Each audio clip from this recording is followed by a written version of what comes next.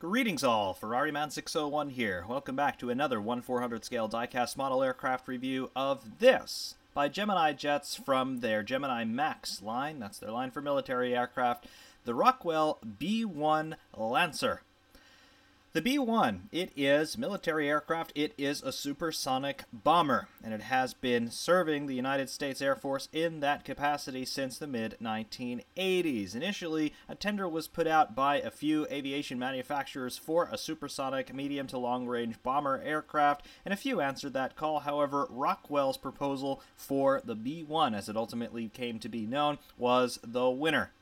Basically, this aircraft needed to perpetuate the United States military strategy of constant alert, constant vigilance, and rapid response capacity.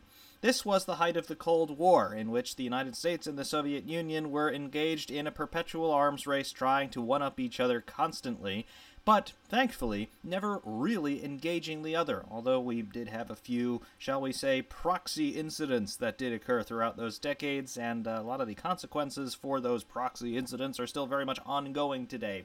But the big takeaway from the Cold War era from both sides was an absolutely huge technological explosion the Cold War saw basically aviation go from piston propeller driven airplanes to supersonic travel, not only in military capacities but in civilian capacities in terms of Concorde. Also, it saw manned spaceflight and ultimately a manned lunar landing by 1969. So, the Cold War really was a huge impetus for technological innovation in every sector, but particularly in the aerospace sector as we achieved and perfected supersonic flight. We achieved and perfected the use of jet propulsion rather than piston engines driving propellers, and of course, ultimately, spaceflight and a lunar landing several times over. So that's the context and the climate from which this aircraft hails. Of course, this one later on toward the end of the Cold War era, the mid to late 70s, and then through the mid to late 80s when these aircraft were actually entering service by 1988 or so. But the B 1 remains in service today with the United States Air Force. There are about 60 of them still flying. One of the things, though, that the aircraft was designed to carry was nuclear ordnance, and quite thankfully, the world has not seen nuclear weapons used in the field of battle since 1945, but this is one of the aircraft that would be entrusted with carrying such devices, although officially the United States Air Force claims that the B 1s, at very least, no longer carry nuclear weapons. Is that true or not? They'll never tell us. But, be that as it may, the aircraft is very interesting, and it's rather unconventional in terms of its design. Yes, it's got a long and sleek supersonic fuselage, but it's also got variable geometry wings. Yes, a swing wing, which is something that Gemini jets have actually replicated on this 1 400 scale model. Let's take a closer look at it. Before we take a closer look at this model, let's take a look at the box from whence it came. Coming in here from screen right, here we go. There is our Gemini Macs box. And we'll zoom out a bit here so we can get more of it into frame. But there we go. Obviously, we've got a rendering of the B1 here front and center. Rendering appears to be ever so slightly larger than the actual model. Up the top, though, a little bit different from the other Gemini Macs boxes that we've seen so far. This one is branded limited edition collectible Rockwell B1 Lancer on 400 scale. This is something that's missing from the other Gemini Macs models that I have got so far in the collection. Across the uh, bottom middle of the box, we have got uh, a rendering of the flag of Texas and Dyess there, Dyess Air, Air Force Base, of course, where the aircraft is based. Made for collectors by collectors, and then there is your Gemini Macs logo. And at the bottom left, your Look Inside tab. Across the bottom panel of the box, what do we have? The Gemini Macs logo, one 400 scale diecast model with the selling features and points there. Right side panel, Gemini Macs logo, Rockwell B1 Lancer, another smaller rendering of the aircraft on 400 scale diecast, and then the item number is GMUSA084. Top panel, here we go, Gemini Macs logo, adult collectible model, warning, choking hazard, small parts, not for children under 14 years, and then the barcode. Left hand panel, Rockwell B1 Lancer, 1400 scale diecast, item number again, and then Gemini Macs, there it is. Bottom panel of the box, here we go just as we saw on the top, limited edition collectible Rockwell B1 Lancer 1400 scale. Another rendering of the aircraft here, as real as it gets. Gemini Jets brings you the highest quality precision diecast transport aircraft in highly collectible limited editions with official license markings. Registration mark packaging is customized to each aircraft to enhance its collectible value. Proofreading. No apostrophe there. It's right. In other words, though, there you go. Everything being added monthly. There's your Facebook link there for the Gemini Jets page. Made in China. And then there it is. Copyright 2018, Gemini Jets, Las Vegas, Nevada, USA. So there's your confirmation of this being a 2018 release. In the Look Inside tab, if we pop that open, there is the Void, and then across the top, we have our write up of the aircraft as well as some specifications. The write up reads the idea of the original B1 slash B1A was conceived back in the 1960s as a bomber by Rockwell International that would fly twice the speed of sound and eventually replace the B 52 and B 58 types. Cost development overruns and competition from advancing cruise missiles killed the program in 1977. With advancements in technology and an aging B 52 fleet, the B 1 idea was resurrected in 1981. Now known as the B 1B Lancer, the first aircraft flew on 18 October 1984. Deliveries of 100 production aircraft began in 1986 and were completed in May of 1988. Over the years, the B 1B has received several structural and technological upgrades and is planned to remain in service until the mid 2030s. As of January 2018, there were 62 operational B 1Bs remaining in service. Across the bottom here, we have got a list of current B-1B bases. They are Dyess Air Force Base in Texas, Ellsworth Air Force Base in South Dakota, Nellis Air Force Base in Nevada, and Edwards Air Force Base in California. Across the top, and a little bit of a departure in the box layout here from other models, Rockwell B-1 Lancer specifications. Length is 146 feet, wingspan 137 feet, height 34 feet, empty weight 192,000 pounds, cruising speed 830 miles per hour, range 5,900 miles, payload 125,000 pounds, and the engines are four GE F101 GE 102s. So, there you go with your box and your specifications and other things that are evident here before we get into the details on this wonderful little model by Gemini Jets in the Gemini Macs line. Some more detailed specifications here follow on the B-1B Lancer. What is this aircraft? What is its role? Well, it is a long-range supersonic bomber. That is its mission, and of course, with the Cold War being in full swing when this aircraft was being developed, the idea was there needed to be a first strike option from the United States military because the thinking was at the time that the Soviet Union in particular would be trying to launch a first strike against the United States. And of course, that was going to be most likely a nuclear strike and that was going to be a long range nuclear strike, either with a bomber aircraft such as something like this, or with an intercontinental ballistic missile. Therefore, this aircraft, along with aircraft like the B 52 and the SR 71 Blackbird, this aircraft was going to be part of basically the constant sentinel service. In other words, flying airplanes around the North Pole, constantly looking around at the Soviet Union and trying to see if they're up to anything, and if you see anything going on, well, that's going to be a game over for the Soviet Union, before it would be game over for the United States. Yes, mutually assured destruction, ladies and gentlemen. That was what was going on during the Cold War, and, uh, well, that's why we have a whole bunch of aircraft from that era. It is a long range supersonic bomber crewed by a minimum of four people in terms of what the flight crew is going to be. The crew allocations on the B 1 flights would have been you had an aircraft commander, a pilot, an offensive systems officer, and a defensive systems officer. So, in other words, we've got two people who are going to be flying the airplane. We have one crew member who is above both of those people, and then we also have ourselves people who are strictly taking care of the ordnance on board in terms of offensive and defensive weaponry. This being a military aircraft and this being a strike aircraft, this one would have ordnance on board that are designed to take care of enemy targets in whatever general vicinity the airplane is flying. Namely, it's a bomber, so you're going to have people who are in charge of those weapon systems as well, in addition to the countermeasure systems on board, which I'm assuming are going to be any sorts of chaff and flare systems, as well as radar countermeasures, things of that nature. So, four people on board to fly this airplane. Overall length, as the box said, 146 feet, that's 45 meters. A wingspan of 137 feet or 42 meters. And the swept wingspan, this is a variable geometry wingspan on this airplane. It's got a sweep wing, 79 feet or 24 meters in the swept configuration, which we'll see later on. The aircraft is 34 feet or 10 meters high. The overall wing area, 1,950 square feet or 181 square meters. Empty weight, as the box also said, 192,000 pounds or 87,090 kilograms. The gross weight, 326,000 pounds or 147,871 kilograms, with a maximum takeoff weight, therefore, of 477,000 pounds or 216,364 kilograms. Also, as the box mentioned, we have engines on this thing. We've got four of them. They are the General Electric F101 slash GE102 afterburning turbofan engines. So, in other words, we have got really powerful engines to start with, and then they've got afterburners as well. And the afterburners, of course, are going to be used during takeoff under heavy load, as well as for going supersonic, because, of course, this is a supersonic aircraft.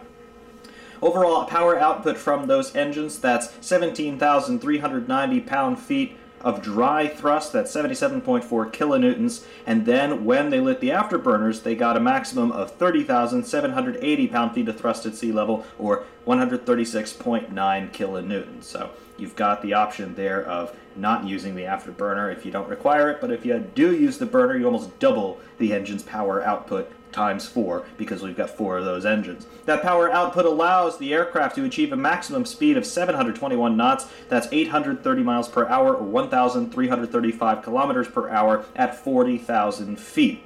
Maximum speed of the aircraft, therefore, Mach 1.25. So that is one and a quarter times the speed of sound, and again, assuming 40,000 feet there.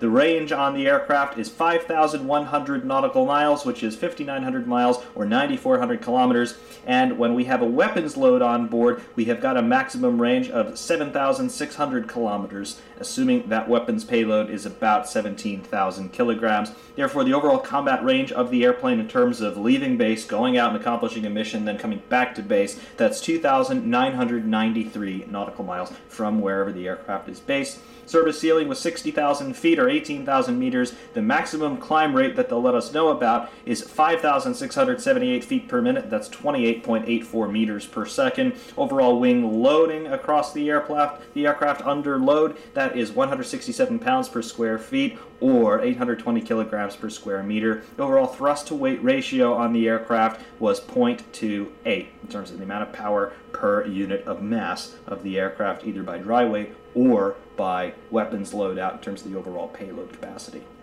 The aircraft is outfitted to carry weaponry, namely bombs. That is the point of a bomber after all. The aircraft has six external hardpoints in terms of places on the aircraft exterior where they can mount ordnance. The aircraft was designed to carry a whole slew of weapon systems, bombs, all kinds of other avionics equipment as well in terms of extra instrumentation that could be fitted under the wings or in the belly or in the belly cargo bay of the aircraft as well. In terms of the explosive ordnance that the aircraft could carry, a whole menagerie of weapon systems. We've got the Mark 82 uh, aerial inflatable retarder system. So, in other words, you've got fragmentary munitions that can explode in the air and then hit multiple targets. You've got the Mark 84 general purpose bombs. You have naval mines, the Mark 65 version, cluster bombs, the uh, CBU 87 and 89 and 97 series, the CBU 103 through 105 series. Those are munitions dispenser units. Again, they'd be an air burst and they would send individual shells out to individual targets in some cases. You've got the AGM 154 Joint Standoff Weapon. You've got the AGM 158C anti ship missile. You've got the AGM 158 uh, air to surface missile. So, in other words, you could attack land targets and maritime targets. And then also, most infamously, this aircraft also was outfitted to carry the B 61 and B 83 nuclear weapons. So, this was a nuclear armed aircraft Supposedly, the B 1s no longer carry nuclear ordnance, but I'm going to say that they still do, whether or not they want us to know about it. So, you've got an aircraft that is capable of supersonic flight, and its cruise speed would be around Mach 125, but you've also got an aircraft that's also versatile in terms of the munitions that it can carry, and A military aircraft, that's its job, and that's what it can do, and obviously the B 1 was well outfitted for that task. Now to take a closer look at some of the macrocosmic details available here on this Gemini Macs rendition of the B1. First of all, in terms of the overall proportions of the model, it's about 5 inches long with about a 4.5 inch wingspan with the wings unswept like they are right now. It's really not all that dimensionally dissimilar from the 1 400 scale Concorde that we took a look at a couple of months ago. And of course, being a macrocosmically similar aircraft to Concorde in terms of we've got four engines and we are a supersonic aircraft, yeah, I suppose that's not really all that surprising. Of course, though, very different roles both of those aircraft were developed in order to achieve. But in terms of what we've got going on here, we have the typically good Gemini Macs gray, battleship gray paint finish there, and it is a little bit abrasive in terms of the paint finish there. That's something that we have seen on many a Gemini Macs model, and uh, basically all of them that are painted in that battleship gray color do have that somewhat rough, abrasive surface texture, and uh, I do like that quite a lot. It just adds a sense of ruggedness, which is something that I suppose you would associate with a military aircraft. Other details that you see here in terms of the general shapes and proportions of everything, there's the nose section with the cockpit windows, which are curiously removable. We'll take a look at that a little bit later on, but the canopy actually does come off of this aircraft. That's something very unique in 1 400 scale. Typically, details like that in terms of things being removable, that's generally reserved for the 1 200 scale models. But no, this is a 1 400, and we do have removable cockpit windows there, so we'll take a look at that. But overall, the shape of the nose looks good. We also have those little canard winglets below and slightly ahead of the cockpit windows, and uh, they're all there. They're actually modeled, they're not just tampo print markings there like the canard winglets on Concorde were. Nope, those are actual winglets. They are there in three dimensions, as you can see here from nose on. There you go. Not too bad. Rears of the cockpit, you do have that slight hump section of fuselage before it starts to taper down toward the wing spar area where the wings are then mounted. And then the wings themselves, obviously, they are unswept right now. They're basically straight across, and uh, that's the low speed takeoff and landing configuration for the airplane. You can see, though, particularly from directly nose or tail on, that we do have a little bit of wing droop going on there. That's something that is only evident when the wings are extended here in the unswept position. When you sweep them back, the wings are more or less straight and level. So, interesting to note. Is that a defect? Maybe it is. However, it does mean, though, that the wings do have that true to life variable geometry feature. So, if they're not quite straight and level when they're in one configuration versus another, I'll take it. I'll definitely give it a pass only because it allows the wings to be functional. It adds a feature that you don't get on many 1 400 scale models. Not to mention, though, that most aircraft ever produced do not have variable geometry wings. So, again, we'll take what we can get, and uh, I really don't want to dock too many points off of this one for that because it is a cool feature to have that variable geometry wing structure. Toward midship again, you do see the engine nacelles there on the uh, basically just below the leading edges of the wings. You start to see the air intakes there on the engine nacelles. And uh, another parallel with Concorde, very similar sorts of engine intakes in that uh, these, I believe, would be variable geometry to allow the air to slow down, come down to subsonic speed before the engine ingests that air, and then, of course, it can be uh, mixed with the fuel and then set alight and sent out the back at unspeakable velocity. And then, of course, all of it gets lit up again when the afterburners light up. So there you go, you can see the intake and exhaust sides of all four engines. The nacelles nicely proportioned and nicely positioned. You do have that silver detail there on the trailing edge of the nacelle around the afterburner of the engine, and all that looks good. Landing gear, as you can see, we have our main gear and nose gear. We've got four wheels on each main gear, and then we have got two wheels on the nose gear. That looks good. Perhaps the wheels look ever so slightly too big at this scale. Again, I don't really know. I don't really feel like taking measurements of these things, but um, I don't know. I think it looks good enough. Perhaps slightly disproportionately large, but again, it's not really something that I'm going to be docking points for this thing on because, again, the wheels roll very nicely and they do look good, all things considered, albeit, again, perhaps just a little bit too big. tail section there, there's the tail cone and the empennage.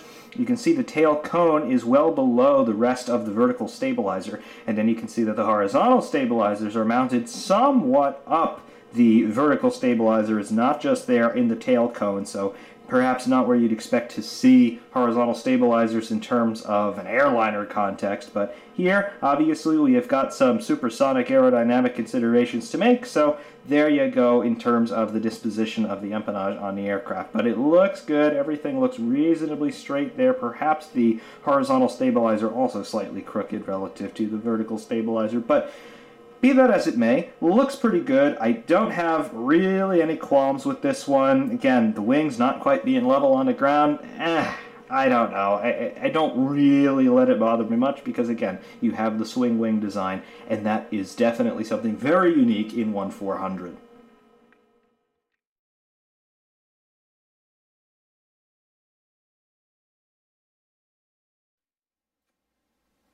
Taking a look here from the nose at the B1. We'll zoom in as close as we dare. There we go. And there we are. You can see the, first of all, the structure of the nose cone. That looks good with the slightly darker paint relative to the rest of the aircraft with the radar dome area. That looks good. Also, you can see that we have got the uh, basically the rangefinder lines and then the receptacle for the aerial, aerial refueling port right there. Obviously, that's something for the benefit of the tanker boom operator. So for in-flight refueling, you're going to have yourself um, basically unlimited range. And then, obviously, the boom operator needs some guidance in terms of flying the boom into the receptacle. But that's cool that you can see that detail. It looks very nice, and I do like it. There is the overall disposition of our landing gear. You can see that maybe we do have a little bit of an asymmetry there on the main gear. Could also just be a slight artifact of the angle from which we're looking, but you can see that on screen right, aircraft left, that main gear perhaps looks a little bit different from the right gear in terms of its angle relative to the ground, but again, not really something that I'm too concerned about. Engine nacelles, the intake sides of them, you can see here, they look pretty nice, I must say. Can't really divine any detail inside the engine nacelles. Again, we're, we're talking about very small scale here. The intakes there on each engine, only about, I don't know, millimeter high, two millimeters high at most. So very, very tiny details. But again, rendered quite nicely. I got to say, good effort. There are wings, leading edges of the wings. Not much to see from this profile view, but you can see that we do not quite have a straight and level condition here on the ground. That left wing, screen right, is definitely drooping a bit and it has some sort of slop there in the mechanism that allows them to swing. Similarly, with the empennage there, you can see the vertical and horizontal stabilizers there looking aft, and you do definitely have a bit of an asymmetry, a little bit off level there with the empennage, particularly in the horizontal stabilizers. But all in all, not too bad. I do like, again, the detail that is visible on the nose, as well as those cockpit windows. Again, you can see up there looks pretty cool. Definitely uh, pretty high marks still, albeit we do have a droopy left wing.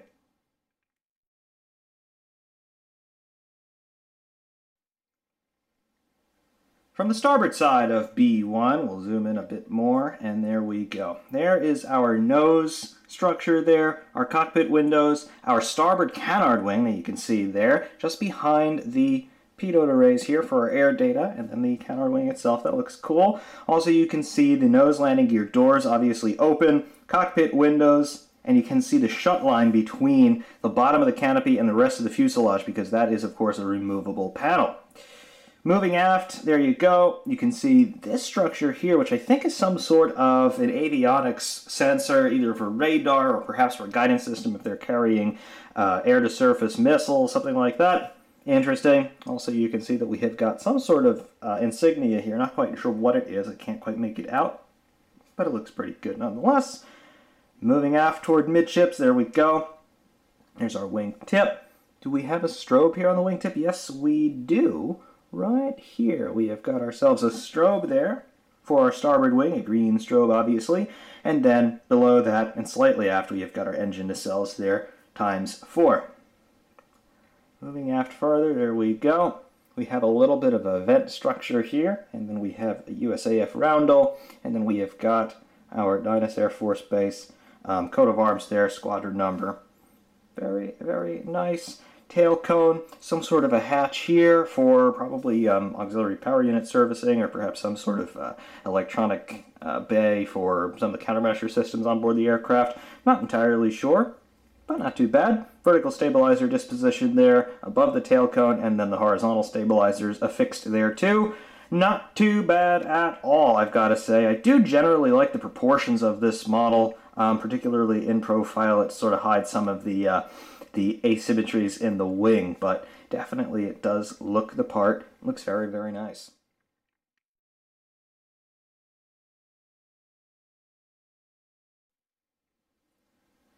Taking a look from the tail on the B1. There we go.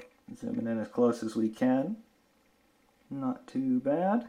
There we go for the most part. Yes, you can also see the uh, issues of symmetry that we have here with the wings. Now the left wing on the screen left now. Things are symmetrical in terms of our point of view. Yep, definitely a droop there relative to the right wing, which does look pretty straight. And uh, similarly, you can see that we have got ourselves that slight right cant with our horizontal stabilizer. So, eh, it is what it is in my book. But here you can see the exhaust sides of the engines. They look good. Nice uh, silver paint there on the exhaust sides around the afterburner assembly. And then, of course, we have got our nose and main landing gear here visible from the rear section. I also like that top side profile that you can see with the hump coming from the backside of the cockpit area and then moving across with this flare downward toward the engine nacelles here with our little strakes here just separating the flow on the top sides of the nacelles. That looks really nice and looks very, very dramatic. Definitely a fan of this angle of the B1.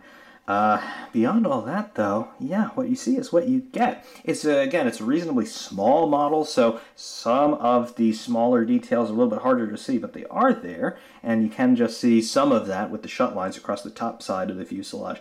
Looks very nice, and I just do like that overall shape, how it expands out toward the wings, and it almost re- looks somewhat reminiscent of a lifting body in its own right, and I'm sure the fuselage does generate a little bit of lift by itself, but Obviously, it's not a lifting body, just looks like it's taken some design cues, perhaps, therefrom.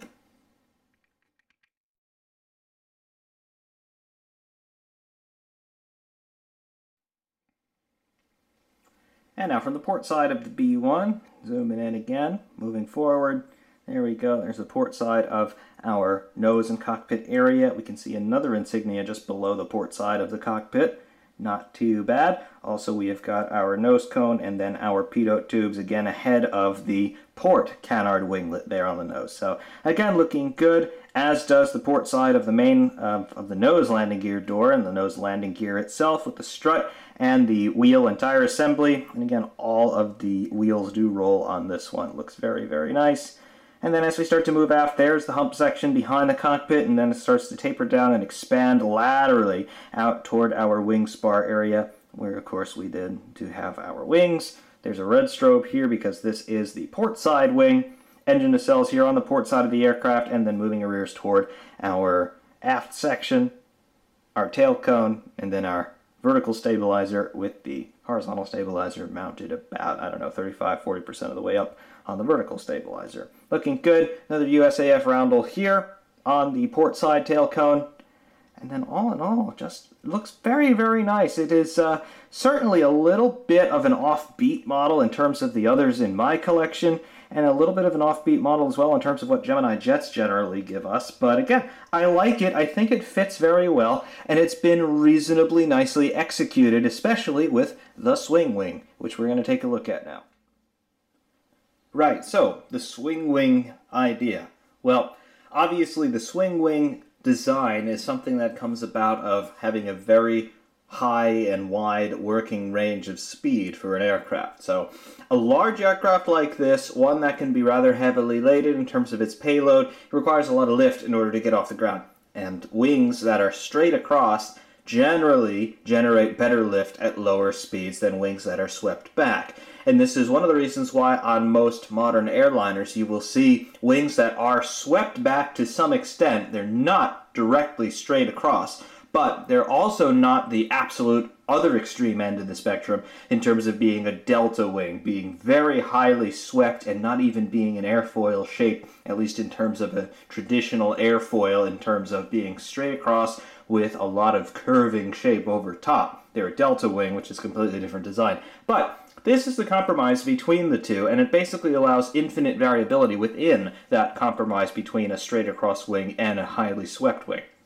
Gemini Macs here, in their 1400 rendition of the B1, they have given you the ability to sweep the wing back, and it does so just like that. There you go. So now you can have the wings totally swept back, and that's the furthest uh, wing sweep that you have currently available here. And of course, we can sweep them back the other way. There you go. So you can see that the wings are linked together. All you need to do is push one or the other, and then of course they will just do their thing and sweep back and forth. It's the uh, first model aircraft that I have actually that has this sort of feature. The action is very smooth. It will stay uh, in whichever position you put the wing, so you don't have to be all the way extended or all the way retracted. There are basically infinite shades of gray in between all of that, so you can decide where you want to have that for your different display options in terms of which phase of flight you want to display the model if you've got it up on a stand. But there it is. It looks pretty good, I've got to say. And, uh, yep, the uh, proportion completed there with the uh, wings swept back. Now this thing really looks like it is in flight and it's going someplace in a hurry. Now going freehand to take some closer looks at some of the details that perhaps we couldn't see earlier on. There is our nose and cockpit area. It looks pretty good. And of course the uh, general proportion and disposition of everything there with our air refueling port, our uh, radar dome nose tip, pitot tubes, and then our canard winglets, and then the cockpit canopy area. Looks good. And then top side here on the fuselage, you can see more details going on in terms of our tampo printing. Not really much graphics wise on the fuselage. You can see that we have got some details here uh, with our USAF roundel there, and then really on the vertical stabilizer is the only other place that we have any real graphics on the aircraft, but it looks good, I've got to say. And uh, again, it uh, looks appropriate. Graphic sizes are proportionate, and then the little bits of color that are actually here, they look good. So definitely high marks here in terms of the graphics detailing. Obviously our wings and their swept back configuration, they look a whole lot more proportionate and straight and level now. So, well, that's really well done. Can't really complain about any of that. And then just our uh, engine nacelles there from a little bit closer up. Looks good. Looks really, really good. Don't really have any qualms about any of that. And then your nice graphics there on the vertical stabilizer looks pretty, pretty good.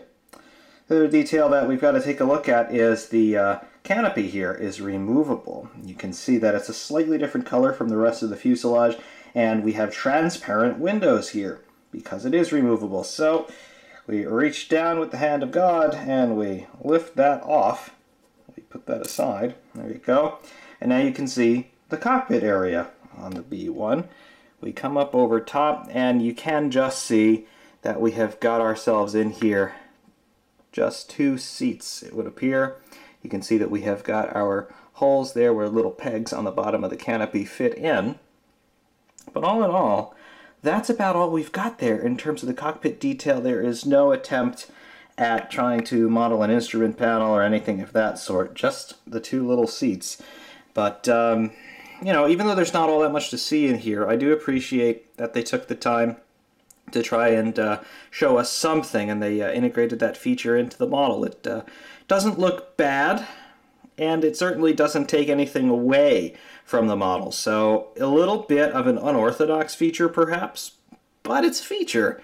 And uh, I definitely have to say, good on them for at least attempting to do something different, and uh, I, I like it nonetheless. Coming back here, we'll get the Hand of God back in position. We will get our canopy back on, and there you go. Done. So that's everything reassembled. Not too bad at all. From the top side there, pretty good in terms of your detailing there, top side. Pulling out a little bit, the top sides of the wings. Looks good. definitely looks good, and I really do like that top side profile there. It just looks like, uh, well, looks like a dart. so, yeah, it's a supersonic 200,000 pound dart. Not bad in the least. And then, of course, coming back out through here, we can get our wings back extended. Good. We took the canopy off by accident. Oh well. But, yeah, there it is. Not bad at all proportion-wise. Canopy back into position. There we go. That's the view we were looking for. Not bad. Not bad at all. Certainly cool. I like how the shadows are falling around this thing as well.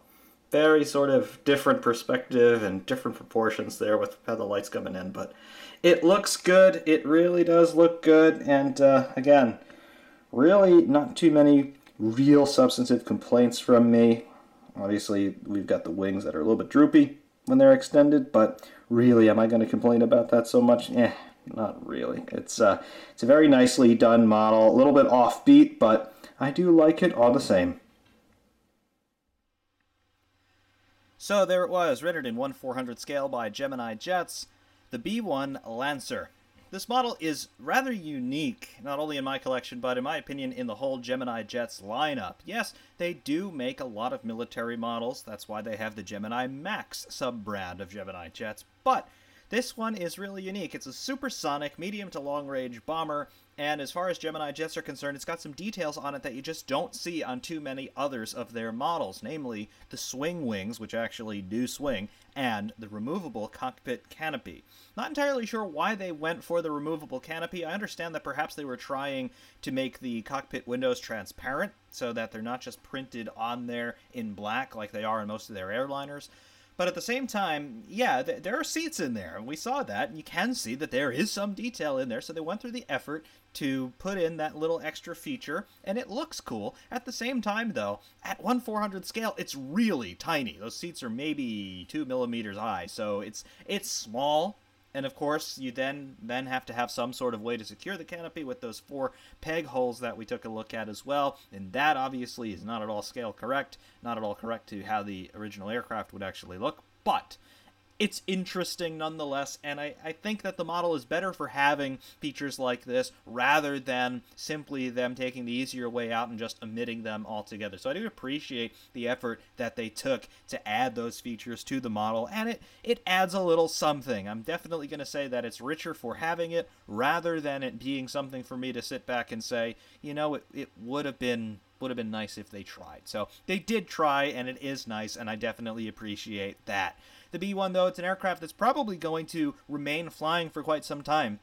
Although, in a twist of irony, the aircraft that in theory it was designed to replace, the B 52, that's another aircraft that's going to remain flying for quite some time, perhaps even into the 2100s. Yes, it's altogether possible that 80 years from now, the B 52 will still be flying. Some of those aircraft are fast approaching their 100th birthday already, and they're still in active service. So we'll see what the future holds for the B 52 as well as for this, the B 1. Theoretically, its more capable replacement aircraft. So they're still serving concurrently, and as far as I'm aware, there are no plans to remove the B 1 from service anytime soon. Likewise, no plans to remove the B 52 from service either. So, be that as it may, we've got this wonderful B 1 Lancer by Gemini Jets. It looks good and it's a fine addition to my collection. And if you're looking for military aircraft just to add to your display, yep, looks good. Definitely, this is a good model. I'm willing to ignore some of the faults in it, such as the droopy left wing, as well as the slightly crooked horizontal stabilizer.